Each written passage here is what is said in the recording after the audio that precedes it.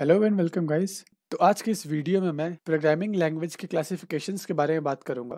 तो based on user experience और user point of view computer languages को generally तीन कैटेगरी में डिवाइड किया गया है।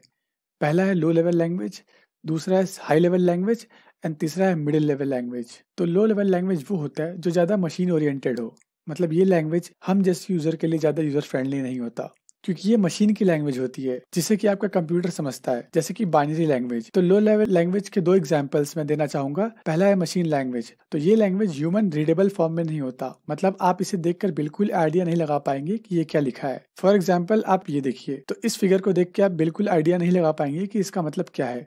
तो बेसिकली एक इंस्ट्रक्शन लिखा हुआ है बाइनरी लैंग्वेज में एंड देन हमारा असेंबली लैंग्वेज आता है, जो कि अगेन लो लेवल लैंग्वेज है. बट अनलाइक मशीन लैंग्वेज जहाँ पे हमारा कोड बाइनरी में होता है असेंबली लैंग्वेज में कुछ कुछ नॉन इंग्लिश टर्म्स देखने को मिल जाते हैं जिसे हम कुछ हद तक पढ़ सकते हैं समझ सकते हैं। बट अगेन वो यूज़र फ्रेंडली नहीं होता इसलिए उसको भी लो लेवल लैंग्वेज की कैटेगरी में रखा गया है। सो so, बड़े बड़े प्रोग्राम असेंबली लैंग्वेज में लिखना is a very difficult task. और जब आप कोई असेंबली लैंग्वेज में लिखे हुए कोड को एग्जीक्यूट करवाते हैं तो सबसे पहले वो कोड मशीन लैंग्वेज में कन्वर्ट होता है या फिर आप कह सकते हैं कि मशीन कोड में कन्वर्ट होता है। और ये जो कन्वर्जन होता है assembly language to machine language ये कन्वर्जन असेंबलर करता है। एंड देन जाके आपका कोड एग्जीक्यूट होता है। तो अब बात करते हैं हाई लेवल लैंग्वेज के बारे में। तो हाई लेवल लैंग्वेज बहुत यूज़र फ्रेंडली होता है और हम इसे आसानी से सीख सकते हैं, समझ सकते हैं, क्योंकि इसमें हमें कई सारे इंग्लिश टर्म्स देखने को मिलते हैं जिससे कि हम रियल वर्ल्ड से रिलेट कर सकते हैं। फॉर एग्ज़ाम्पल पाइथन में हमें कुछ डेटा यूज़र से इनपुट करवाना है तो उसके लिए हमें इनपुट फ़ंक्शन का यूज़ करना होता है, या फिर कुछ डेटा प्रिंट करवाना है तो उसके लिए मुझे प्रिंट फ़ंक्शन का यूज़ करना होता है। मतलब जैसा नाम, वैसा काम। तो इसलिए हम इसे आसानी से सीख सकते हैं, समझ सकते हैं। तो जावा शीशा पाइथन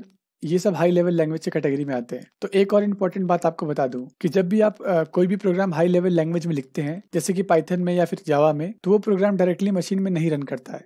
क्योंकि कोड तो आपने हाई लेवल लैंग्वेज में लिखा है और एट द एंड आपका प्रोग्राम आपके प्रोग्राम को मशीन में रन करना है और मशीन सिर्फ़ बाइनरी लैंग्वेज ही समझता है। तो यहाँ पे जब भी आप अपने हाई लेवल लैंग्वेज में लिखे प्रोग्राम को एग्जीक्यूट या फिर रन करवाते हैं तो सबसे पहले वो कोड कन्वर्ट होता है मशीन कोड में और ये कन्वर्जन आपका कंपाइलर या फिर इंटरप्रेटर द्वारा किया जाता है। एंड उसके बाद वो प्रोग्राम एग्जीक्यूट होता है। तो अब बात करते हैं मिडिल लेवल लैंग्वेज की, कि ये क्या होता है, जो कि आप कह सकते हैं कि हाई लेवल लैंग्वेज और लो लेवल लैंग्वेज के बीच में लाई करता है। मतलब इसमें आपको कुछ हद तक रिलेटेबल इंग्लिश के टर्म्स देखने को मिल जाएँगे, जिसे आप आसानी से समझ सकते हैं। और इसमें कुछ हद तक मशीन ओरिएंटेड टेक्निकल टर्म्स भी होते हैं, जिसे समझना या फिर रियल वर्ल्ड से रिलेट करना मुश्किल होता है। तो like high level language middle level language में भी कोड का कन्वर्जन होता है। सो मिडिल लेवल लैंग्वेज में भी लिखे प्रोग्राम सबसे पहले मशीन कोड में कन्वर्ट होते हैं एंड देन एग्जीक्यूट होते हैं। तो अगर आपको एग्ज़ाम्पल दू मिडिल लेवल लैंग्वेज का तो आप कह सकते हैं कि सी या सी प्लस प्लस तो अगर आपको ये वीडियो अच्छी लगी और आपको मेरा काम पसंद आया तो आप चैनल को सब्सक्राइब करके एंड वीडियो को लाइक करके मुझे सपोर्ट कर सकते हो। और अगर आपकी कोई क्वेरी या फिर कोई सजेशन है तो आप उसे कमेंट बॉक्स में दे सकते हैं।